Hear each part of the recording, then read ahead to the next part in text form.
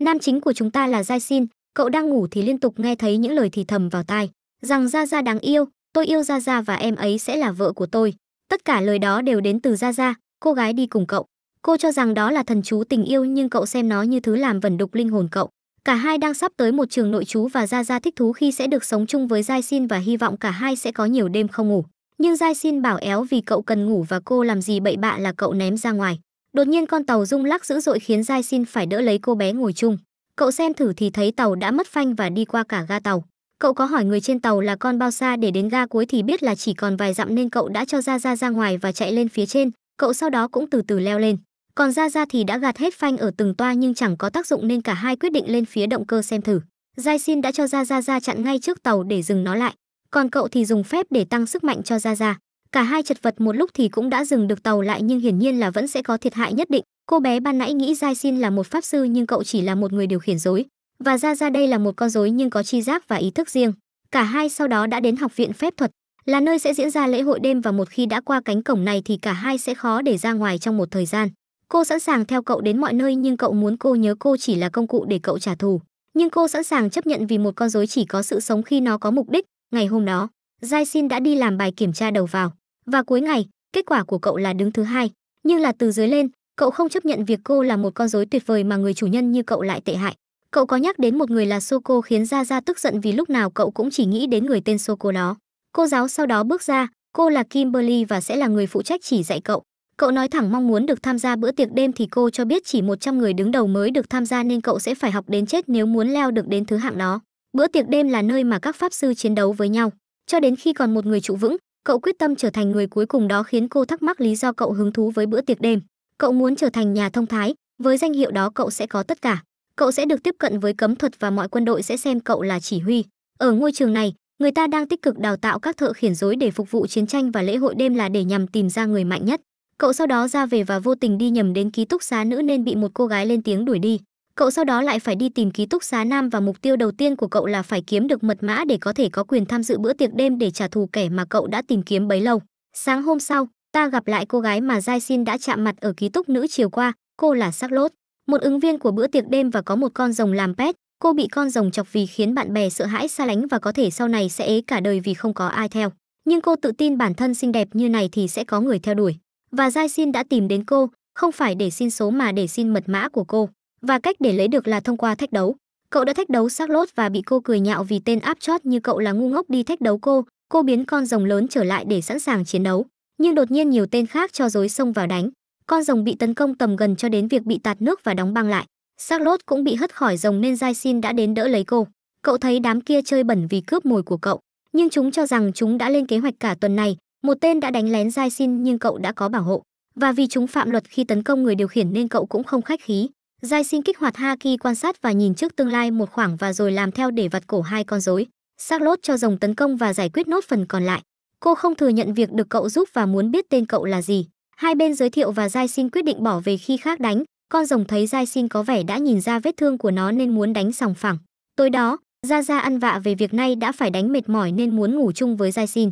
Cậu chấp nhận để cô ngủ chung nhưng cấm động chạm, và trong đêm đó, xuất hiện một sinh vật đã ăn lõi của một con rối. Sáng hôm sau, Giai xin phải đến ăn trực xác lốt vì cậu nghèo kết xác nên cô cho cậu ghi nợ để sao trả. Cô cố tỏ vẻ tờ Sun DZ nhưng Giai xin và con rồng đều chẳng bận tâm. Đột nhiên Giai xin phát hiện thấy tên Magnus. Hắn được xem là người đứng top đầu của học viện và cũng là kẻ Giai xin muốn trả thù. Cậu và Gia Gia đã cùng lao xuống để sống mái với hắn một trận, nhưng cậu chỉ đối mặt với Magnus.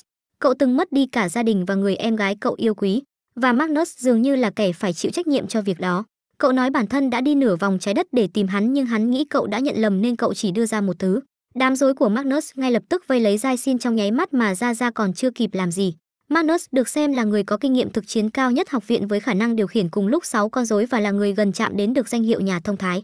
Nhưng cậu chỉ muốn đưa ra một món quà gặp mặt nên Magnus đã nhận lấy và rời đi. Ra Ra đã xin lỗi vì không thể làm gì. Còn Giai Xin dù ghét phải thừa nhận nhưng cậu hiện tại không thể nào đánh với Magnus. Vì dù có nhìn trước tương lai thì cậu cũng không phải ứng được với cùng lúc 6 con rối của Magnus. Gia Gia sau đó có đi vào tắm chung với cậu. Cô tin cậu chắc chắn sẽ thắng và bắt đầu bày trò chọc ghẹo Jai Xin. Sáng hôm sau, Jai Xin gặp được trụ cột pháp lý của học viện, trưởng ban kỷ luật Felix. Anh ta muốn trao đổi vài thứ với cậu nhưng cậu từ chối nên anh ta đã phải nói ra vấn đề cần nói liên quan đến mật mã. Lúc ở trong lớp, Cậu mải nghĩ về lời của Felix mà không tập trung nên bị ăn một phấn vào đầu. Cô Kimberly đã nhắc cậu nhớ lý do cô phải giảng lại mớ này là vì mấy tên rớt bài kiểm tra như cậu. Cô đã hỏi cậu một câu thì cậu không trả lời được nên xác lốt được gọi lên trả lời thay. Cô đã giảng về thứ giúp một con rối có thể đạt đến mức độ hoàn chỉnh gần như con người. Nhưng có cố ra sao thì rối vẫn là rối nên đừng cố giống con người quá làm gì. Biết cô đang đá đều ra ra nên cậu đứng lên cho rằng ra ra là con rối mạnh nhất. Cuối buổi học, Charlotte thấy Giai Xin đã đi gặp Felix và không biết cả hai đang làm gì. Con rồng thì khá thích Giai Xin vì cậu xem nó như một sinh vật có chi giác thay vì là một con rối. Còn Felix đã cho cậu xem về mấy vụ án gần đây. Từ năm ngoái đã có 26 học sinh mất tích và 12 con rối đã bị ăn. Kẻ tình nghi được cho là cannibal, và anh ta cần cậu đi tóm tên đó vì cậu mới đến nên không thể là thủ phạm và cậu được đánh giá là rất mạnh. Đột nhiên cô trợ lý của Felix tìm đến và cho biết một cái con rối bị cannibal ăn lại được tìm thấy. Charlotte cũng ở đây và Felix đã nhiều lần muốn hẹn hò với cô nhưng đều bị từ chối. Xem qua hiện trường thì Giai xin thấy trái tim của con rối đã bị mất nhưng bao trường hợp trước đây. Charlotte đột nhiên bỏ đi mà chẳng nói gì. Giai xin quyết định giúp Felix vụ này nhưng cậu sẽ điều tra theo cách của cậu. Cô trợ lý Lise của Felix đã đuổi theo cậu và muốn nói chuyện riêng nên cậu đuổi ra ra về ký túc và cô cảnh cáo cậu không về sớm là cô phá tan cái ký túc này. Còn về phía Lise cô đã cho Giai xin biết việc con rồng của Charlotte trước đây từng là một con rồng hung bạo nhưng đã bị biến thành rối và cần một lượng thịt để duy trì. Cho nên cô nghi ngờ tên cannibal đó cũng sở hữu một con rối dạng thú, cậu sau đó về phòng để suy nghĩ. Còn ra ra thì cứ ghen vì cậu cứ đeo bám người con gái khác. Cô đòi kiểm tra cơ thể cậu buộc cậu phải né đi. Charlotte có đến ngoài cửa sổ tìm cậu và muốn rủ cậu đi hẹn hò, ra ra không chịu nhưng Giai xin mặc kệ mà đồng ý. Hôm sau, Charlotte hẹn cậu ở hiện trường vụ án còn vụ hẹn hò chỉ là để dụ cậu. Nhưng cậu nhận ra cô không có bạn bè nên mới phải rủ một người mới quen như cậu. Cô muốn cậu làm mồi nhử để dụ tên cannibal xuất hiện và cô sẽ xử lý hắn. Nhưng cậu từ chối vì cô đã hứa là cả hai sẽ đi hẹn hò, cả hai sẽ vào thị trấn và không đưa con rối đi theo. Gia Gia không có tiếng nói và chẳng thể phản đối được nên đành quỳ xuống khóc lóc. Con rồng bảo cô yên tâm vì ông không thấy Giai Xin có tí ham muốn nào nhưng cũng không dám chắc vì con trai tuổi này cũng thất thường lắm. Ông không hiểu sao cô lại cứ thích gắn bó với Giai Xin dù tình cảm giữa người và dối là không thể. Cô biết vậy nhưng vẫn khóc và khiến rồng sắp ngập trong đống nước mắt. Giai Xin và Charlotte lúc này đã cùng nhau đi hẹn hò và cuối ngày thì cùng đi ăn tối. Cô không biết phong cách chiến đấu của cậu như nào mà dị vậy thì cậu thuộc trường phái điều khiển nhiều dối cùng. Lúc nhưng vì chưa đủ khả năng nên cậu chỉ dùng cả cơ thể của bản thân để hành động chung do biết kha khá về võ thuật. Cô không ngờ cậu chỉ mới học được 2 năm mà đã đòi làm nhà thông thái. Cậu đã lái sang vụ cô thích Felix thì cô cho biết cô luôn vô tình tạo ra kẻ thù và Felix là người giúp đỡ cô. Vì Felix rất nổi tiếng nên nếu cô chấp nhận hẹn hò thì sẽ lại có thêm kẻ thù. Cả hai sau đó đi mua đồ và về trường thì đột nhiên phát hiện nhiều người và một luồng sáng. Nghi ngờ là cannibal đã nhắm đến Gia Gia nên Jai Xin đã chạy nhanh về. Cậu gặp được Felix và xem qua hiện trường thì may mắn không phải là Gia Gia. Cậu nhớ đây chính là con rối đã đấu với cậu hôm trước. Felix muốn xác lốt từ giờ đừng có đi điều tra nữa. Vì cô có vẻ không tin tưởng Felix nên mới chọn Jai Xin, Felix đã cố ý khiến cô tổn thương mà bỏ đi để nhằm khiến cô bớt hành động bất cẩn và xong việc anh ta sẽ làm lành với cô sau. Lúc trở về, Giai xin thấy Gia Gia nói là chuẩn bị đồ cho cậu ăn nhưng mọi thứ đều trống trơn. Cậu biết cô đã bị ảnh hưởng tâm lý bởi việc cậu đi với người khác nên đã tặng cho cô một đôi giày mới và giải thích cho cô biết cậu không phải là thích xác lốt mà chỉ đi chung với xác lốt vì cô đang bị nghi ngờ.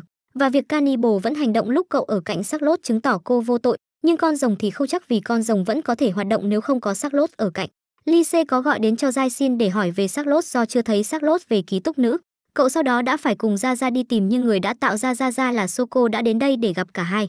Soko thấy cậu vẫn chưa đánh một con rối nào ra bã thì cậu xem con rối nào cũng như con người. Cậu chỉ cần đánh bại chúng chứ không cần phá hủy trái tim để giết chúng. Nghe vậy thì Soko đã cho cậu thông tin về tên cannibal, kẻ đó rất khó khăn và có vẻ là đang được một quý tộc trong học viện hậu thuẫn nên cậu sẽ không dễ gì xử lý hắn nhưng cậu không thể bỏ mặc sắc lốt vì còn nợ cô nên Soko đã giúp cậu tháo phong ấn của Gia Gia và nhắc cậu nhớ là cậu vẫn có giới hạn và điểm yếu của Gia Gia là gió và nước nên cậu cần tránh hai thứ đó. Cậu sau đó đã chạy đi còn Soko nhớ lại lúc bà tìm được Giai Xin sau khi gia tộc cậu bị tiêu tan. Bà đã thu nhận cậu và quyết định giao cho cậu Gia Gia để cậu chiến đấu. Bà cũng sẽ cho cậu vị trí của kẻ mà cậu hận nhất. Giai Xin đến nay vẫn chưa nhận thức được sức mạnh tiềm ẩn của cậu. Vì gia tộc của cậu đã từng rất mạnh nhờ khả năng điều khiển dối, nhưng chính vì dòng máu đó mà bất hạnh liên tục xảy đến, Kẻ mà cậu sẽ phải chiến đấu chính là anh trai cậu và nếu cậu biết sự thật đó thì cậu sẽ căn hận bà ta. Cậu sau đó có gặp Ly C trên đường đi tìm và cô ta cũng đang đi tìm xác lốt vì người ta phát hiện hàng đống tim của con rối trong phòng xác lốt. Cậu muốn hợp tác với Ly C và cả hai đã đến kho chứa con rối. Cậu đã phải để ra ra ở ngoài và nói là muốn được xem con rối của Felix. Cô ta đã dẫn cậu đi xem, nhưng giờ cậu đã nhớ đến phần sau của cuộc trò chuyện với Ly C, rằng cô ta có nghĩ ra một con rối có thể gây được thiệt hại như vậy cho con rối ở hiện trường. Nhưng rõ ràng là chưa có giám định gì cả. Cậu đã khiến Ly C giật mình mà chối bỏ nên cậu cũng chẳng tra cứu thêm và giờ cậu đã giật chìa khóa của cô ta và chạy đến tủ chứa của cô ta để mở ra và phát hiện trong bình chứa đây chính là xác của Ly C thật. Cậu ngay lập tức bị đánh ngất. Cậu biết ả ta là một con rối, ả đã gọi người đến bắt cậu và đổ tội cho cậu cấu kết với cannibal. Còn xác lốt lúc này đã thấy một con rối khả nghi nên tấn công và bị Felix phát hiện và cho người tóm lại. Felix đã đổ lỗi cho cô chính là cannibal dù cô không hiểu gì. Cô giáo Kimberly đã đến đây và thấy Jaisin và Zaza cũng bị thương không nhẹ. Đột nhiên Ra Ra vùng dậy và hét lên cũng như bùng lên một nguồn năng lượng khổng lồ. Felix đã cho những người khác chạy đi xử lý bên kia còn hắn sẽ lo liệu xác lốt. Hắn giờ đây mới thú nhận việc hắn chính là cannibal và gọi ả giả mạo kia đến. Hắn đã định cho Jaisin xử lý cô nhưng cậu lại nhúng vào quá sâu. Ả ta phóng một mũi tên và xác lốt buộc con rồng phải đỡ cho cô, nhưng phát thứ hai thì Jaisin và Zaza đã đến. Xác lốt xin lỗi Jaisin vì lỗi của cô đã khiến cậu bị thương đến vậy, nhưng cậu cho rằng cô mới là người bị tổn thương nhiều hơn. Cậu sẽ hạ hắn và kết thúc vụ án cannibal này. Trước đó, Zaza đã cho Jaisin biết về việc gia đình xác lốt từng rất to lớn với nhiều thành viên và con rối khác nhau. Nhưng vào một ngày con chó rối của nhà cô làm người ta bị thương khiến cả nhà tiêu tán và phần lớn con rối bị tháo rỡ. Gia đình của xác lốt sau đó cũng mất tích còn cô bị đuổi khỏi trường nội trú. Giờ đây thì cô đã vượt qua và cố dùng tiền học bổng để mua lại trái tim của những thành viên cũ trong gia đình. Đó là lý do cô rất căm thù tên cannibal đó, vì cô cũng xem con rối như một con người và cô muốn trở thành nhà thông thái để tìm lại gia đình. Felix vẫn cố xảo miệng và đổ lỗi cho xác nhưng cậu biết xác quá tốt bụng để là tội phạm giết rối, cậu sẽ đập nát con rối Lyce đằng kia. Xác không biết vụ này nên con rồng nghĩ là Lyce thật đã bị giết để làm nguyên liệu tạo thành con rối. Jai Xin đã cho ra ra lao đến đập vỡ mặt nạ của con rối kia và nó đúng là Lyce mà cậu đã chạm trán. Cậu hỏi tên thật của con rối kia và muốn cô ta đứng ngoài nếu cô ta không muốn phục vụ Felix. Nhưng cô ta có vẻ tự nguyện nên cậu chẳng còn cách nào khác ngoài đánh. Đang đánh thì Felix cho rối hóa thành nước. Đây chính là chiêu của con rối nước mà cậu đã đánh lần trước. Chứng tỏ ả ta hấp thụ được sức mạnh của con rối ả ta đã ăn. Ả ta cố nhắm vào Giai Xin để đánh và khiến cậu bị thương. Nhưng cậu vẫn cho Ra Ra tấn công và rồi lại bị ả nhắm được buộc Ra Ra phải quay lại bảo vệ cậu. Felix đã đổi vũ khí cho rối thành quả chùy và hất Giai Xin bay đi. Magnus và cô Kimberly đều ở trên nóc quan sát và thấy Giai Sin sẽ sớm thua vì cậu có quá nhiều sơ hở. Ra Ra sau đó đã bị quả chùy đó bắt được và liên tục đập xuống. Giai Sin đã phải đứng lên chiến đấu. Cậu bộc phát sức mạnh và sắc lốt, cố khuyên cậu dừng lại vì cô đang bị xem là thủ phạm nên cậu cũng sẽ bị kết tội. Nhưng chỉ cần cậu tin cô vô tội là đủ và cậu sẵn sàng chống lại cả thế giới vì điều đó. Cậu đã lao đến Felix nhưng lại bị ả dối giữ lại. Jai Sin lại bị đánh bay và vết thương thì đang nặng hơn. Felix cho cậu cơ hội về phe hắn trong bữa tiệc đêm nhưng cậu ngay lập tức từ chối. Felix đã ném quả chùy vào mặt cậu thì cậu đã cho Ra Ra phá đi. Ra Ra sau đó đã lao đến tấn công đáp trả và Jai xin nhận thấy Felix không cho dối hóa thành nước nữa chứng tỏ khả năng hấp thụ được chỉ có thể sử dụng được trong một khoảng thời gian nhất định. Felix thấy bí mật bị bại lộ nên đã cho con rối tấn công Ra Ra. Cả hai tấn công từ trong rừng ra đến sân đấu và vừa chạm đất thì ả ta đã cắm kiếm xuống và rồi nhốt Ra Ra trong một khu vực toàn sương mù có khả năng ăn mòn. Ra Ra bị đốt khắp cơ thể nhưng Jai xin vẫn rất bình tĩnh, cậu cho Ra Ra tấn công và thổi bay rối của Felix trở về nguyên dạng. Cậu vốn dĩ đã để rối của Felix hấp thụ máu của Zaza, vì hai máu chứa hai loại phép thuật khác nhau nên đã gây ra phản ứng khiến phép thuật của ả ta không còn hoạt động nữa. Việc để Gia Gia bị thương đến vậy hoàn toàn là ý đồ của Giai Xin. Cậu sau đó cho Gia Gia lao đến tung một cú dứt điểm hoàn toàn và phá tan con rối của Felix. Giờ chỉ còn Felix thì cậu chậm chậm tiến đến, hắn đe dọa rằng bản thân là con trai của hoàng gia nên cậu sẽ gặp rắc rối. Hắn rút súng ra thì cậu đập bay súng và cho hắn một đấm.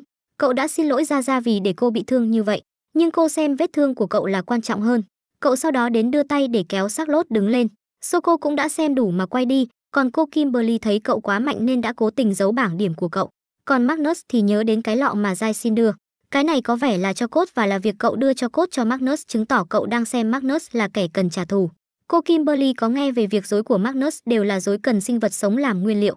Jai xin sau đó đã được hiệu trưởng công nhận và trao cho mật mã, Thứ sẽ giúp cậu chính thức trở thành một ứng cử viên cho người thông thái và quyền tham gia bữa tiệc đêm. Cậu sau đó nhận được danh hiệu Upchot và cô Kimberly là người đã đề xuất cho cậu danh hiệu này. Cũng chính cô đã giải thích với bên nhà trường và cậu nhờ đó mới thoát được vài rắc rối. Cô bảo cậu ra chào hỏi fan hâm mộ, cậu được các học sinh trong trường tuyên dương vì xử lý được thế lực của Felix. Charlotte có đến cho cậu một chiếc bùa hộ mệnh để chúc mừng. Bùa này sẽ bảo vệ cậu trước cái lối đánh liều mạng đấy. Cả hai sẽ cố mạnh lên để đối mặt với nhau tại bữa tiệc đêm và Ra Ra sẽ không nương tay cho Charlotte. Vài ngày sau, Jai Xin vừa về phòng cùng Gia Gia thì đột nhiên thấy một cô gái đang tự treo mình lên. Gia Gia nghĩ là cậu bắt cóc con gái về phòng nhưng cả hai ở cạnh nhau suốt buổi. Cậu phải thả cô gái kia ra và cô có một con chó có vẻ là dối. Cô nói bản thân có đồ ăn chưa muốn dùng để cảm ơn cậu, cậu ăn thử một cái bánh thì nó mặn đút. Cô nói bản thân hết thuốc mê nên mới bỏ muối vào thay, cô sau đó vào phòng tắm rội nước lên người rồi đi ra nằm lên giường để chờ cậu rơi. Cậu phải hỏi thật ý định của cô là gì thì cô nói ra là ám sát. Cậu sau đó phải đi hỏi xác lốt thì cô nghĩ tóc trắng và có một con chó thì hẳn là Frey, cô ta học năm 3 và là hạng 99 toàn trường và cũng là người có mật mã. Hẳn là cô đang có ý định loại cậu trước khi bữa tiệc bắt đầu, vì giờ cậu đã lên hạng 100 nên hẳn là có vài người đang e sợ. Đột nhiên vừa nhắc đến Frey thì họ thấy cô đang ở ngoài sân để làm một cái lồng, và mồi nhử là một cuốn tạp chí đen. Giai xin không ngờ cô ta ngốc đến mức nghĩ cái bẫy đấy sẽ có tác dụng và rồi chính cô lại là người bị nhốt trong cái lồng đó. Vua kiếm Loki tìm đến và không biết cô đang làm trò gì. Giai xin thấy hai người này có vẻ giống nhau thì được cho biết cả hai là chị em. Nhưng thằng em này có vẻ không tôn trọng chị gái vì ỷ là bản thân mạnh hơn. Đột nhiên hai chị em xảy ra xích mích và quyết định cho hai con rối chiến đấu với nhau. Gia Gia đã lao ra chặn hai con rối lại. Giai xin cho rằng mai mới là bữa tiệc đêm nên giờ là còn hơi sớm để đánh. Loki xuống Giai xin biến đi chỗ khác vì cậu ta ghét bọn da vàng nhưng cậu cũng ghét bọn da trắng kiêu căng. Hai bên chửi nhau là kẻ ngốc và rồi còn đòi lao vào đập lộn. Charlotte đã phải đứng ra cản, Loki khuyên cậu nên rút khỏi bữa tiệc và tránh xa hai chị em cậu ta ra. Cậu sau đó cứu Frey ra khỏi lồng và cô cũng chỉ cảm ơn, còn về lý do hai chị em đánh nhau là vì Loki có ác cảm với cô. Cậu sau đó quyết định đi tìm hiểu về Frey, nghe Charlotte cho biết Frey học ở khóa nào thì cậu đã đến đó tìm hiểu nhưng những gì người ta biết về Frey là cô có vòng một khủng. Charlotte có hỏi Giai xin thấy ngực to hay nhỏ tốt hơn thì cậu cho rằng một khi đã thích ai đó thì kích cỡ không quan trọng. Nhưng Gia Gia biết tổng là cậu thích cỡ như của Frey, Charlotte nghe theo Gia Gia sái cổ nên chửi Giai xin thậm tệ và bỏ đi. Cậu một lần nữa thấy tức giận với Gia Gia vì toàn khiến cậu bị hiểu lầm, cậu sau đó phải đi học bổ túc ở lớp của cô Kimberly. Nhưng cậu không nghe giảng nên ăn một phấn, cô nhắc cậu nhớ bữa tiệc sắp đến nên lo mà tập trung vào, vì cậu ở hạng 100 nên sẽ khổ nhất. Vì cơ cấu bữa tiệc là hai người 99 và 100 sẽ đấu với nhau, và người thắng thì sẽ đấu với 98 và dần dần như thế đến top 1. Người bị mất găng tay thì sẽ bị xử thua. Cậu không thể lách luật vì mấy cái lách luật để né việc đánh nhau chỉ có top cao mới dùng được, còn Frey thì có lý do để chiến thắng. Vì cha cô muốn cô phải thắng thì mới cho cô đoàn tụ với đàn chó. Đêm đó, Jai xin mơ về việc cậu từng bị so sánh với anh trai và quyết định rời đi để học tập nhằm mạnh hơn anh trai thì mới về. Cậu sau đó tỉnh dậy vì có ai đó sau lưng cậu nghĩ là Ra Ra nhưng đèn bật lên thì Ra Ra vào còn bên cạnh cậu là Frey. Cậu cho biết Frey có mang theo hung khí nhưng cái đó không quan trọng nữa. Sáng hôm sau, Ra Ra tìm ngồi khóc trong bồn tắm còn Jai xin cố nhờ bên nhà trường xử lý vụ của Frey. Charlotte tìm đến và cô có thông tin về gia đình của Frey. Gia đình của Frey và Loki là chủ một công ty cơ khí chuyên sản xuất con rối và thường xuyên có hối lộ cho những người có quyền thế. Nhưng Giai xin chẳng quan tâm mà chỉ nhớ việc tối nay là bữa tiệc và chuyện gì đến sẽ đến. Cô muốn Giai xin nhớ đem bùa hộ mệnh theo, cậu sau đó đột nhiên bị con chó của Frey lao đến tấn công và bị thương. Frey cũng không kiểm soát được nó nên cậu đã hất con chó ra và ném cho nó một quả bom choáng khiến nó không còn bị điên loạn nữa. Frey thấy cậu bị thương nên đã lấy đồ sơ cứu ra băng lại. Cô nghĩ cậu sẽ rất giận cô nhưng cậu không hề giận cô điều gì mà chỉ xem đây như tai nạn. Có điều ra ra thì rất giận và chỉ cần cậu ra lệnh thì cô sẽ đập họ ra bã. Frey thấy có lỗi nên đã cưỡi chó đi mất. Ra Ra thấy cậu tệ vì bí mật đi hẹn hò với cô khác, đột nhiên một cô lại chạy đến ôm cổ sai Xin. Cô nhóc này là cô Muza, em gái của Gia Gia và cậu biết cô Muza đến đây thì hẳn là Soko muốn cậu làm gì đó lén lút. Cậu nói đúng nên cô Muza sẽ giải thích cho cậu trên đường đi và Gia Gia không được đi lần này nên cậu muốn cô ở lại đây chờ. Cậu sau đó đã cùng cô Muza tàng hình để đi làm việc, cả hai tàng hình gần như là hoàn toàn nên không lo gì về việc bị phát hiện. Và cả hai đã đến lồng của những con chó dối và tìm đến chuồng của con nguy hiểm nhất. Còn Gia Gia lúc này đã đi gặp ông rồng và nói về việc cô muốn làm con người, nhưng làm con người thì cô không thể bảo vệ Giai Xin. Cô thấy bản thân có khi sẽ chấp nhận làm con rối miễn là hữu dụng với Giai Xin, nhưng nghĩ đến việc Giai Xin tương tư đến cô khác thì Gia Gia không nhịn được. Ông rồng cho rằng Giai Xin xem mọi con rối như con người nên có khi Giai Xin không có tình cảm với cô là vì cô khá giống một đứa trẻ với tâm hồn bị bóp méo. Đột nhiên một tia sáng bay đến nhắm thẳng vào Gia Gia khiến cô bị thương, cô Kimberly và Soko đã gặp nhau. Và đây là hình phạt vì Giai Xin trốn ra khỏi trường nhưng Soko đã giúp nói đỡ cho Jai Sin vì giờ họ đang cần sức mạnh của cậu. Soko đã rời đi và để cô Kimberly lo liệu ra ra. Còn Jai Sin lúc này đã gặp được thủy tổ của loài chó rối, bà cảm nhận được cả hai dù cả hai đã vô hình. Bà muốn cả hai xưng danh thì Jai Sin đã phải lễ phép giới thiệu. Cậu muốn biết mấy con bên ngoài phải con cháu của bà không thì chỉ một vài là đúng, còn con chó mà Frey đang dùng là con của bà. Cậu biết bà là nguyên mẫu cho loại năng lực xác định mọi thứ bằng âm thanh của loài chó rối, nhưng bà thì là một con rối được tạo nên từ sinh vật sống nhưng bà giờ đây đã hết giá trị nên sắp bị vứt bỏ. Cậu không chấp nhận những kẻ định giá một sinh vật bằng tiền nên sẽ giải thoát cho bà. Bà thấy cậu thú vị và muốn biết lý do cậu đến đây thì cậu cho biết bản thân đang bị Frey ám sát. Nghe đến Frey thì bà quyết định sẽ đi cùng cậu để tìm hiểu lý do Frey làm như vậy. Cậu cũng nhớ ra là chưa hỏi tên bà thì bà giới thiệu bản thân là Zomi. Còn Ra Ra lúc này đã tỉnh và ông rồng thấy cô cũng gây lắm mới còn sống. Ông định đi gọi người sửa thì cô không thể sửa bằng cách thông thường mà cần đến ma lực của Giai Sắc lốt đã tìm đến và cô muốn cho ra ra ít ma lực để sửa chữa nhưng nó tiêu tốn nhiều đến mức sắc lốt cũng khó để cung cấp đủ. Còn cô Kimberly đã đến gặp bác sĩ và lấy thông tin từ anh ta về Jai Sin, cả hai thấy Giai Sin có vẻ hồi phục rất chậm, hẳn là do sinh lực cậu đang liên tục bị Ra Ra hút đi để sửa chữa. Còn Giai Sin đã cùng bà Zomi đến phòng của Frey, Frey thực ra chỉ là được nhận nuôi. Bố mẹ của cô là thành viên của một tổ chức chuyên biểu diễn dối, nhưng đã bị một con rối nổi điên sát hại. Frey và bà đã sống rất vui vẻ và Frey quá tốt bụng để nhận nhiệm vụ ám sát. Bà đã cho cậu thấy những đứa trẻ tóc trắng được noi này nuôi dưỡng như Frey, chúng có khả năng thu hút ma lực rất lớn và chỉ một trên một triệu có khả năng này. Bà sau đó đã đưa cậu đi xem lý do đứa nào cũng mồ côi là vì chúng đều được nuôi cấy nên. Cả ba bị phát hiện bởi năng lực của loài chó dối như bà nên cả ba đã phải trốn qua máng đổ rác, địch vẫn kịp phát hiện cả ba trước khi nhảy xuống. Vết thương của Jai Xin dính nước cống nên sắp chuyển biến nặng, nếu địch quá ngốc thì cả ba có thể thoát còn không thì sẽ bị chặn đầu. Bà Zomi đã hiểu lý do Giai Sinh cần bị khử vì nếu cậu thắng trong bữa tiệc đêm thì dự án sản xuất chó dối sẽ bị loại bỏ. Bà và những con chó khác sẽ bị đào thải và loại dối như của Loki sẽ được đem vào sử dụng, nhưng loại dối đó cần kỹ năng cao và tốn kém. Còn dạng chó này thì một kẻ nghiệp dư cũng dùng được, cả ba bị phát hiện nên Giai Sin đã nhảy xuống nước để né đạn và nhảy lên tấn công đám kia.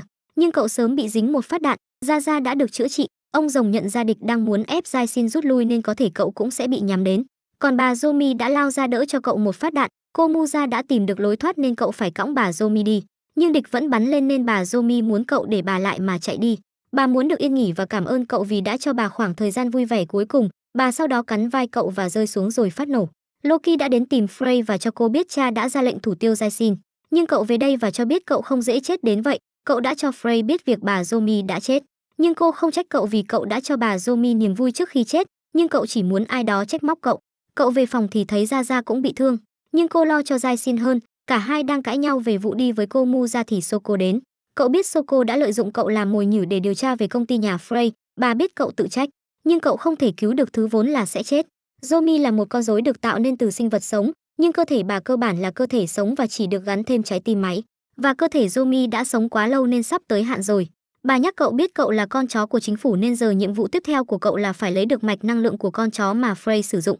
Cậu biết bà đang ra lệnh cho cậu giết con chó đó, nhưng bà lẫn chính phủ không quan tâm. Tối đó, Jai Sin đã cùng ra ra đến bữa tiệc đêm, và Magnus đã đọc diễn văn khai mạc. Cậu sẽ phải đấu với Loki thay vì Frey. Cậu đã cho ra ra đi vài đòn và cậu cũng phối hợp để tấn công, nhưng khi Loki đánh trả thì cậu đã cho ra ra né nhưng cô vẫn bị thương. Cô muốn cậu cho cô thêm ma lực để cô chặn, nhưng cậu vẫn lo lắng về năng lực của bản thân nên chỉ bảo cô né. Nhưng đòn giáng đến cậu, cô muốn chặn bằng ma lực cậu cho nhưng cậu đã lo sợ và quay ra hứng cho cô. Cậu sau đó thấy cô đang khóc cho cậu khiến cậu nhớ lại cô em gái của cậu năm xưa. Em gái không cho cậu đi nên cậu đã phải nói ra những lời tuyệt tình để đuổi em gái. Loki thấy cậu không đánh được nữa nên bỏ về vì cậu mà chết thì Loki mất quyền thi đấu. Cha sau đó trách Loki vì cậu ta không lấy găng tay. Nhưng cậu ta biết Ra Ra sẽ cản cậu ta, và cậu ta mà đánh Ra Ra thì cô sẽ lấy sinh lực của Jaisin và khiến cậu chết sớm hơn. Cha không biết lý do Loki từ hạng 7 mà lại nhảy xuống hạng 99 để đánh thì cậu ta cho rằng Frey sẽ không thắng được. Nhưng cha không cần và muốn Loki ngày mai đấu với Frey thì cứ thẳng tay đập nát con chó, vì làm vậy là giúp Frey. Còn Jaisin lúc này được đưa đi cấp cứu, Gia Gia đã gặp lại chị gái cô là Inoji và cô cho rằng bản thân là lý do khiến Giai Sin bị thương như lần trước. Nhưng Inoji tin Giai Sin sẽ không chết trước khi đánh bại anh trai cậu. Đêm đó, Charlotte và ông rồng đều thấy Loki có vẻ đã nương tay nên cậu mới chỉ dừng ở mức bị thương. Cả hai đều biết Giai Sin nếu còn tiến bước thì cậu sẽ mạnh đến mức khiến cả hai phải lo ngại, vì vậy nên cô không cho phép cậu gục ngã. Trong lúc đó, Gia Gia đã xin thần linh cứu Giai Sin và cô sẽ không ghen tuông ích kỷ nữa. Còn cô Kimberly và bác sĩ thấy Jai Sin cũng may mắn vì chỉ cần sâu thêm tí là phổi cậu đã bị tổn thương, và nhích thêm tí nữa thì cả phổi lẫn tim đều bị thương. Còn việc cậu bị hút sinh lực như cả hai dự đoán đã được khẳng định là đúng. Trong lúc đó, Loki và Frey đã gặp nhau để chiến đấu trận tiếp theo. Frey từng rất yếu đuối và chỉ biết trốn sau cái bóng của em trai, nhưng giờ cô muốn có sức mạnh để bảo vệ người khác nên sẽ đứng ra khỏi cái bóng đó để chiến đấu. Cô sau đó cho con chó tấn công nhưng Loki chặn được hết vì cô quá yếu. Loki phóng phi dao ra và khiến con chó dù có né cũng bị thương. Frey làm lại lần nữa thì con chó đã bị thương nặng hơn. Loki định cho kết thúc nhưng đột nhiên con chó bắt đầu mạnh lên và nó đã hút máu từ cơ thể Frey để duy trì sức mạnh. Ông rồng biết sớm muộn gì Frey cũng chết nếu còn tiếp tục như vậy. Con chó đã lao đến Loki và cậu ta còn làm nó bị thương thì Frey càng nhanh chết nên Loki dừng tấn công và để bị con chó vồ. Charlotte tính vào cuộc thì bị cô Kimberly cản lại. Đúng lúc này thì Zaza và Jai xin tìm đến. Cậu đã xen vào cuộc chiến của Loki, hai thanh niên lại cãi nhau. Loki muốn giết con chó để cứu Frey, nhưng Giai Xin thì muốn cứu cả hai. Cậu sau đó đã nhờ ra ra giữ con chó lại, cậu chạy đến chỗ Frey thì nó lao đến tấn công và vật ngã cậu. Nhưng Loki đã cứu cậu để sau còn có đối thủ để đánh. Cậu đã ngắt ma lực mà Frey truyền cho con chó và tạm thời dừng được cả hai. Lúc đến phòng y tế, Soko đã đến đây và Giai Xin đã nhờ bà sửa cho con chó. Bà xem qua một lượt thì yêu cầu những dụng cụ cần thiết, Sau buổi phẫu thuật, Jaisin đã ra cảm ơn Soko, nhưng bà cũng đã có được thứ quân đội muốn là mạch phép thuật của con chó đó. Do đó nên bà để nó sống cũng chẳng sao, nhưng vẫn còn sớm để cậu cảm tạ, vì cơ hội sống của con chó đấy vẫn quá mong manh. Còn về việc ban nãy thì Soko đã giải thích cho cậu biết Frey mới là người đã mất kiểm soát vì cô đã cung cấp ma lực cho con chó quá nhiều khiến nó cũng mất đi lý trí. Bà cho cậu biết Loki và Frey đều là hai đứa trẻ nhân tạo được cái công ty kia tạo ra, và vì mang ma lực quá lớn nên tim của cả hai đã bị thay bằng đồ cơ khí. Tất nhiên điều đó không dễ gì thành công và bằng chứng cho sự thất bại thì cậu cũng đã được thấy qua, cậu định chạy đi thì Soko giữ cậu lại vì cậu đang tự ảo tưởng quá mức. Cậu sẽ chẳng làm được gì vì chủ tích của công ty đó là nhà thông thái của 20 năm trước, bà nhắc cậu nhớ về giao kèo là cậu không được chết một cách thảm hại. Cậu sau đó vào gặp Frey và tin là con chó sẽ khỏe lại và đến lúc đó thì cô và Charlotte có thể kết bạn. Vì cả hai đều gặp rắc rối trong việc giao tiếp với người khác, cậu sau đó có hỏi về Zomi thì cô xem Zomi như một người mẹ thứ hai và cô tự trách bản thân yếu đuối nên Zomi mới ra đi. Cậu quyết định quay đi và Charlotte biết cậu định đi cứu những chú chó khác. Cô không muốn cậu liều mạng để rồi gặp tử thần lần nữa. Vì cậu đã cứu cô một lần nên giờ cô phải ngăn cậu làm điều ngu ngốc xem như trả ơn, nhưng cậu cho rằng nhờ đá hộ mệnh của cô mà cậu còn sống nên xem như đó đã là trả ơn. Cậu sau đó đã dùng tàng hình của cô Mu ra để cùng ra ra đột nhập, nhưng cả hai vào được thì thấy đám chó đã bị đưa đi mất. Cả hai định đập phá tí thì liền bị địch bao vây. Vừa ra cửa thì Loki đã tìm đến chặn đường. Trong lúc đó, Frey đã nhận thấy Jaisin bỏ đi, Charlotte cho cô biết Jaisin đã đi đâu vì cậu là tên ngốc không thể cưỡng lại trước nước mắt của một cô gái. Cô Kimberly đã biết và sẽ đi lôi cổ cậu về và hỏi hai cô gái có đi cùng không. Frey chọn đi còn Charlotte lại chọn ở lại vì tin là Jaisin sẽ thoát được, còn Loki thì quyết định giúp Jaisin. Cậu ta đã cùng Jaisin chạy đi và trốn tạm trong một căn nhà. Cả hai thanh niên dù chọn theo cùng một phe nhưng vẫn thích cãi nhau và gọi người kia là đồ ngốc. Loki làm việc này là để dần mặt mấy kẻ cậu ta ghét. Hai bên sau đó đã chia nhau chạy, nhưng khi chạy lên nóc nhà thì Jaisin phát hiện tên chủ tịch đã đến đây. Loki do nhìn thấy bản chất của ông ta nên đã quyết định chống đối, Jaisin cũng xuống góp vui và cả hai đã cho con rối lao lên. Ra ra tung cước thì đột nhiên bị làm trịch đi, cô Kimberly ở gần đó nhận thấy con rối của tên chủ tịch có thể sinh ra khí nén ở nhiệt độ cao để làm trịch đòn. Loki đã cho con rối tấn công nhưng tên chủ tịch thì cho tấn công thẳng vào Loki. Cậu ta bị thương và Jaisin cũng định lén vòng ra sau tấn công ông ta thì ông ta đã lường trước mà phản công lại cậu. Tên chủ tịch vừa cho rối đánh và bản thân còn tự đấm vào mồm Loki cố lao đến, lý do cậu ta chống đối tên chủ tịch là vì ông ta phản bội lại lòng tin của Frey. Loki định gồng sức mạnh thì bị sút cho một cú tắt điện, nhưng Jaisin còn đứng được nên Loki cũng đứng lên đánh tiếp. Cậu hỏi lý do hắn gây ra quá nhiều bất hạnh cho Frey thì hắn cho rằng hắn đang làm mọi cách để đưa khoa học tiến lên. Cậu cho rằng nếu tách một người ra khỏi gia đình để tiến bộ thì cậu thà đi thụt lùi. Cậu đã cho ra ra lao lên đánh và Loki cũng có khả năng nén khí khí của tên chủ tịch nên cậu ta đã lo việc chặn đòn và ra ra đã tung một đòn nổ khiến con rối của tên chủ tịch hư hỏng nặng. Cô Kimberly thấy Jaisin đã nhìn ra cơ chế của con rối kia nên đã dùng thuốc nổ để phản lại chính nó. Cậu vốn dùng thứ này để đấm Loki nhưng giờ thì dùng luôn. Cậu sau đó cho ra ra tung một đòn để dứt điểm con rối đó và hai thanh niên cũng gục luôn. Hai thanh niên gục nhưng vẫn viện cớ là nghỉ giải lao để ganh đua nhau. Hai thanh niên lại bắt đầu khịa nhau và gọi người kia là đồ ngốc sắp chết đến nơi. Cô Kimberly quyết định giờ là lúc để ra mặt, tên chủ tịch định xử cả hai để chiếm quyền điều khiển con trắng của Loki. Nhưng cô Kimberly và những người trong hội pháp sư đã kéo đến để bắt tên chủ tịch, vì hắn đã phạm luật và thí nghiệm lên người sống. Nhà thông thái chỉ đứng trên luật pháp sư còn luật pháp thì không cho phép thí nghiệm lên người khi chưa có sự cho phép của đối tượng thí nghiệm. Sáng hôm sau, Jaisin và Loki đều ở trong viện. Cậu ta không nhịn nổi việc cậu hú hí với y tá kiêm con rối của cậu, nhưng Frey có tìm đến đây cùng với mấy con chó của cô. Jaisin cho cô biết là Loki đã rất lo cho cô nên Loki xách con rối ra đòi choảng nhau. Jaisin cũng không ngán nên thích thì nhào vô kiếm ăn, Frey đã ngăn cả hai vì Jaisin sau này có khi là thành viên trong gia đình. Cô nhận ra bản thân vừa lỡ mồm nên chạy đi còn ra ra thì không tha cho cậu vì ngoại tình. Cô xách cây kiếm và cũng là con rối của Loki đi tìm Jaisin. Cậu sau đó trốn lên sân thượng thì gặp lại Frey. Cô xin lỗi vì Loki đã bắn viên đạn đó vào ra ra. Cậu sẽ tính sổ sau ở bữa tiệc còn Frey vẫn sẽ tiếp tục tham gia đấu để có được quyền học cấm thuật và biến trái tim của hai chị em về lại con người. Dẫu biết Loki cũng sẽ mong muốn điều đó nhưng cô muốn tự mình làm được gì đó cho em trai. Cậu sau đó mới nhớ về Charlotte vì có vẻ cô còn giận cậu từ tối đó. Cậu đột nhiên thấy Charlotte định nhảy lầu nên đã lao đến cứu cô nhưng tay đau khiến cậu không giữ lại được mà rơi xuống. Gia Gia đã ra cứu cả hai và Charlotte dường như không nhớ cậu và xem cậu định giở trò đồi bại với cô và đáng ra cậu nên để cô chết. Cô chạy đi còn Gia Gia thì tức giận và lại nổi cơn ghen. Cô định xiên cậu thì đột nhiên cả hai phát hiện con rồng và Charlotte đi phá hoại trường. Nhà trường vừa cho khánh thành tháp đồng hồ mới thì đã bị Charlotte cho rồng đến thổi bay màu. Còn Giai Xin thì có đi hỏi Frey về cô gái cậu vừa cứu trông không giống Charlotte thì được cho biết đó là Henry. Em gái của Charlotte nên giống Charlotte như in, Henry được cho là đã nghĩ quẩn đến 6 lần, nhưng bằng cách nào đó thì luôn được cứu kịp thời. Từ dây thừng đứt cho đến uống thuốc giải kịp lúc, Giai Xin cũng chẳng biết trường hợp này là hên hay xui nữa. Cậu cũng nghe nói về việc Charlotte đã mất tích từ hôm qua đến giờ nên quyết định đi tìm.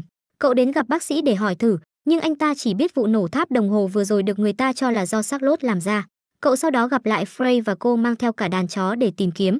Vì cả ba quyết định sẽ đi tìm Charlotte, nhưng chắc là nên tìm từ chỗ người em gái Henry trước.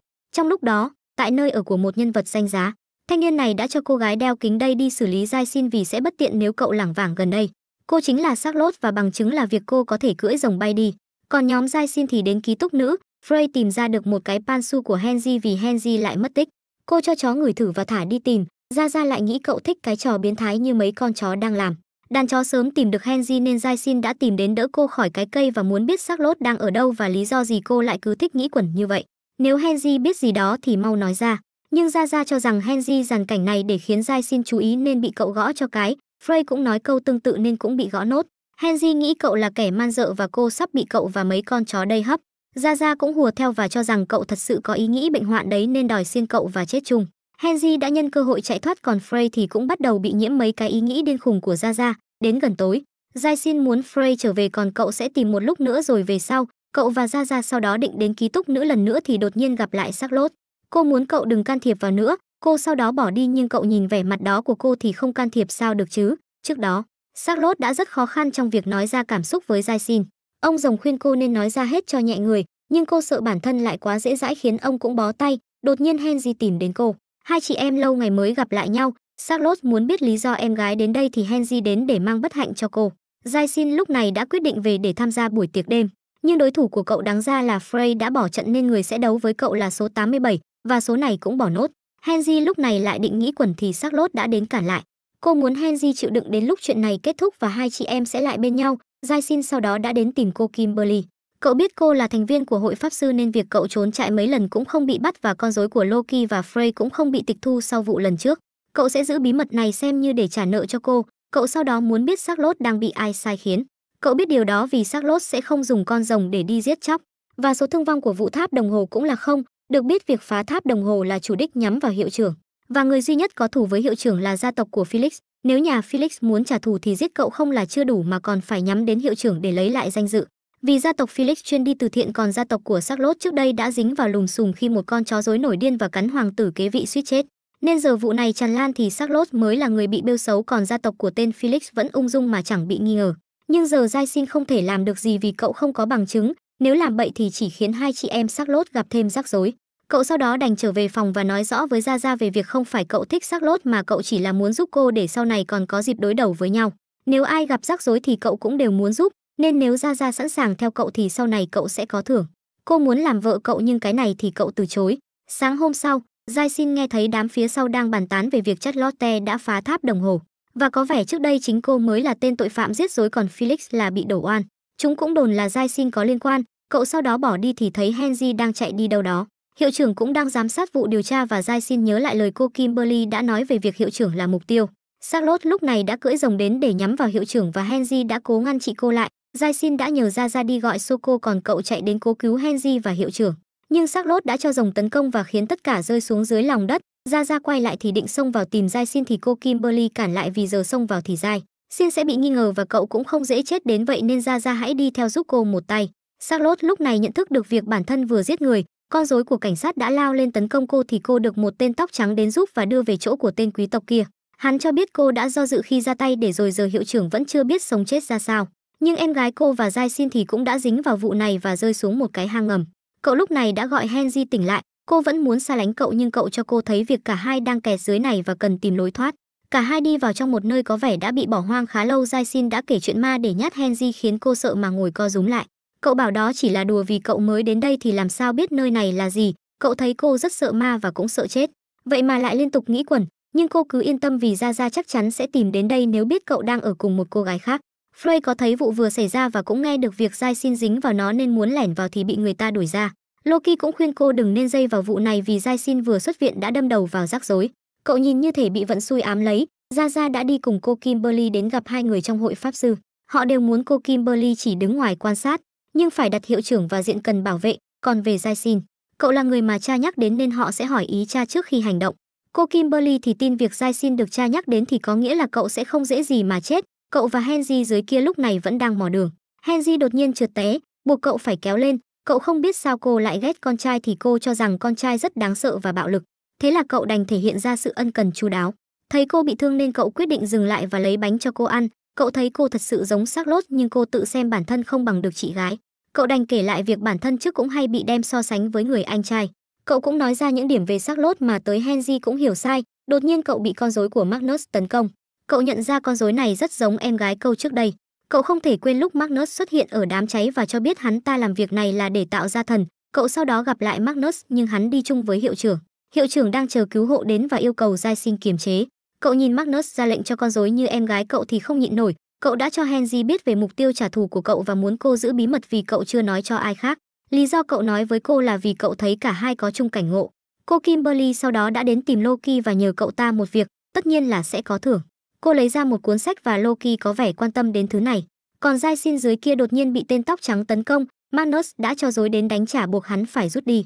Hiệu trưởng nghĩ là hắn nhắm vào ông, nhưng rõ ràng là hắn có ý định giết Giai Xin. Cả nhóm sau đó được cứu hộ tìm thấy và đưa lên. Gia Gia đã lao đến ôm Giai Xin vì lo cho cậu, nhưng không phải lo về an nguy mà lo cậu bị Henry hớp hồn. Lúc về phòng cô lại đòi kiểm tra Giai Xin. Frey thì đứng ngoài nghe hết việc bên trong và Giai Xin đột nhiên nói ra việc cậu đã có hôn thê. Gia Gia và Frey đều thất vọng, nhưng chỉ Gia Gia biết sự thật là Giai Xin bị ép cưới lúc ở trong nhà nhưng giờ cả nhà đi bán muối thì cậu chẳng cần tuân theo. Nhưng đính ước vẫn còn đó mà chưa hề bị hủy. Frey đã bỏ về trước và thất vọng vì cậu đã có hôn thê. Đột nhiên cô gặp lại sắc lốt. Tối đó, Giai Xin và Gia Gia lại đến bữa tiệc và số 87 lại không đến. Cậu quyết định sẽ đi câu một con cá mập thật lớn. Tên quý tộc kia sau đó phát hiện Giai Xin đã đến phòng để bắt Henry đi và Frey thì phát hiện được điều đó. Hắn đe dọa sắc lốt nếu cô không nghe theo thì hắn sẽ ném em gái cô cho bọn lưu manh. Hắn đã sai tên tóc trắng đi bắt Henry về đây còn Giai Xin thì xử luôn cũng được. Cậu lúc này đã đưa Henry đi để cứu cô, vì Henry luôn bị tên quý tộc kia đe dọa, dù cô trốn đến đâu cũng bị tóm. Và vì cậu cướp mồi chúng nên chúng sẽ đến tìm cậu, tên tóc trắng đã đến và cậu sẽ lôi tên chủ nhân của hắn ra ánh sáng. Cậu sẽ ép hắn phải mở miệng nên hắn muốn xem thử cậu làm được gì. Tên tóc trắng sau đó di chuyển với tốc độ cực nhanh buộc Giai Xin phải bám sát Henry. Hắn lao nhanh đến tấn công buộc Giai Xin phải cung cấp ma lực cho Ra Ra để giúp cô chống trả. Hắn lại bất thình lình xuất hiện và cho Ra Ra một cước bay ra xa. Hắn sau đó quay lại nhắm vào Giai Xin và cũng cho cậu tách ra khỏi Ra Ra. Cậu cố đứng lên tiếp tục thì hắn rút bay luôn Ra Ra và quay lại phía cậu. Hắn được lệnh đem đầu của cậu về nên Henry đã ra bảo vệ cậu. Đúng lúc này thì Loki tìm đến, cậu ta có thể tạm thời đối chọi được với tên tóc trắng và theo kịp được tốc độ của hắn. Gia Gia cũng đã trở lại và còn có Frey cùng đàn chó kéo đến nên tên tóc trắng buộc phải lui về. Frey đã cảm ơn em trai vì đến giúp Giai Xin nhưng cậu ta chỉ làm theo lời của Kimberly. Lúc trở về, ta biết gia đình tên quý tộc này chỉ là thân quen với nhà của Felix. Hắn làm vậy là do nhà Felix nhờ cậy, nhưng sau một vài việc gần đây thì hắn nghi ngờ nhà Felix đã phản bội và âm thầm bắt tay với học viện. Nếu hắn diệt được hiệu trưởng thì chúng cũng sẽ được lợi còn nếu hắn thất bại thì nhà Felix sẽ đổ lỗi lên đầu hắn. Giờ ám sát hiệu trưởng cũng khó vì có Magnus ở cạnh làm vệ sĩ, nhưng hắn cũng chẳng quan tâm vì chỉ cần thấy kẻ khác đau khổ là hắn cũng đủ vui. Giai Xin lúc này đã tỉnh và cậu biết được Henry năm xưa đã không điều khiển tốt con chó nên mới khiến cả nhà gặp chuyện. Cho nên giờ cô muốn chết để đền tội và xác lốt cũng bị ép phải ám sát hiệu trưởng vì cô. Nên giờ chỉ cần cô chết thì xác lốt sẽ được giải phóng. Giai Xin muốn rời đi nhưng vết thương vẫn ở đó. Henry từ lâu đã ghen tị với chị gái. Nhưng thâm tâm cô rất muốn cứu xác lốt nên Jai Xin sẽ thay cô làm điều đó. Cậu sau đó đã ra ngoài động viên Gia Gia và mượn từ Frey một con chó để đi tìm. Cậu gặp lại Soko và bà dù đang say nhưng vẫn giận vì cậu cứ thích đâm đầu vào nguy hiểm. Bà chỉ đến tát cậu một cái và cấm cậu xuất hiện trước mặt bà lần nào nữa. Charlotte lúc này vẫn đang do dự, ông rồng khuyên cô nên thật lòng chọn, vì không có gì đảm bảo tên quý tộc kia sẽ giữ lời hứa, và nếu cô làm chuyện này thì Jai Xin và những người khác sẽ hoàn toàn xa lánh cô. Giai Xin là người duy nhất hiểu cô và cô còn tránh né Giai Xin tức là cô đã vứt bỏ hạnh phúc cả đời tìm kiếm. Cô chẳng thể quay đầu nữa khiến ông rồng cũng hổ thẹn vì chẳng giúp được cô. Cô sau đó tính lên đường thì Giai Xin và Gia Gia tìm đến, cả hai đã theo con chó mà lần đến đây. Cậu biết là giờ muốn lôi cô về thì sẽ phải đánh một trận. Ông rồng đã hóa to lên và cho rằng cậu đang hơi đánh giá thấp sức mạnh của ông, nhưng cậu tự tin vì có trong tay con rối mạnh nhất thế giới. Cậu đã cho Gia Gia tấn công và rồi cùng nhau lui lại vì biết ông rồng sẽ khạc lửa. Cậu đã cùng Gia Gia tiếp đất thì ông rồng liên tục xả chiêu từ trên cao buộc Gia Gia phải liên tục né tránh.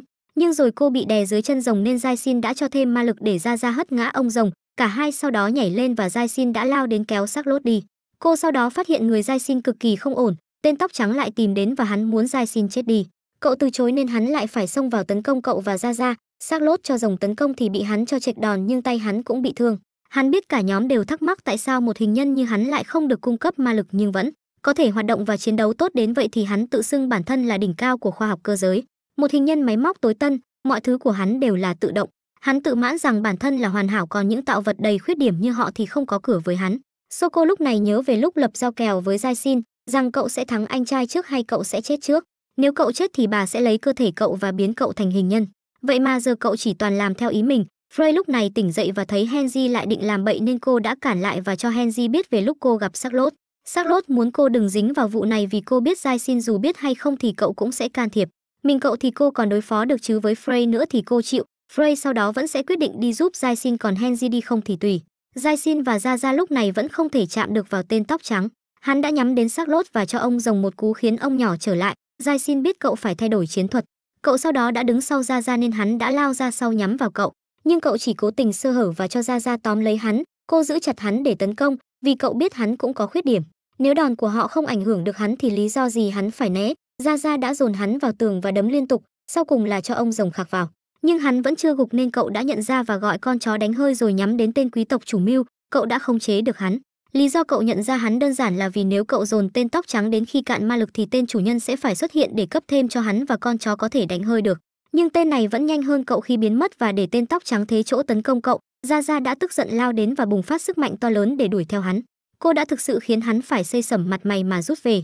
Chúng quyết định sẽ theo sát Giai Xin để chắc chắn cậu không trở nên quá đáng lo ngại. Tên quý tộc sau đó đã lộ hình dạng thật và hắn chính là số 87 luôn né tránh Giai Xin. Cô ta sẽ chơi với cậu ở bữa tiệc đêm lần sau. Trời đã sắp sáng và Charlotte giờ đã làm hòa với em gái. Cô cũng thừa nhận bản thân thua em gái ở kích thước ấy khiến Henry cũng bật cười vì chị không hề giống như cô nghĩ. Cô Kimberly đã đến gặp Magnus và ta biết Magnus thật sự chính là anh trai của Jaisin. Anh ta đã cố dùng con người để tạo ra một con rối thật đến mức hoàn chỉnh, nhưng anh ta muốn cô đừng tiết lộ gì hết mà cứ để Jaisin tiếp tục con đường trả thù của cậu. Nhưng cô cũng cảnh báo anh ta là đừng có mơ tưởng đến việc tạo ra một con người thật sự. Jaisin sau đó lại ở bệnh xá và vây quanh cậu là rất nhiều cô gái, hiển nhiên là Gia Gia không thích điều này. Charlotte cũng chẳng có ý xin lỗi khi đã kéo cậu vào vụ này. Hai chị em Charlotte sau đó lại gây hiểu lầm và cho rằng cậu là một tên biến thái thích đánh giá cô và em gái qua kích thước, và hẳn là cậu phải thích như của Frey. Nhưng Frey cho rằng to quá cũng mệt vì hay bị mỏi, cậu làm phiền đến Loki bên kia nên cậu ta vác kiếm sang hỏi thăm và trách cậu quá dễ dãi nên mới hay dính vào mấy vụ kiểu này. Cô Kimberly sau đó có tìm đến và nhắc cả nhóm nhớ là cả nhóm đang nợ cô kha khá. Vụ tháp đồng hồ thì chính phủ sẽ lấy tài sản bị đóng băng của nhà Charlotte ra trả vì một người có quyền thể có con gái học trong này đã xử lý giúp. Còn về Henry thì cô sẽ giữ lại để làm hầu gái trong phòng thí nghiệm, cô làm để khiến cả nhóm phải nợ cô, đó cũng là tất cả điều cô cần nói. Jai Xin sau đó tiếp tục cuộc sống ở học viện, cậu sẽ mạnh lên để có thể cùng Gia Gia chiến đấu với những thế lực đang ngăn cản cậu. Nhưng Gia Gia thì sẽ theo đuổi mục tiêu làm vợ cậu. Phim rất tiếc là đã bị drop nên ta sẽ chẳng biết hành trình này sẽ đi về đâu, nên tạm biệt.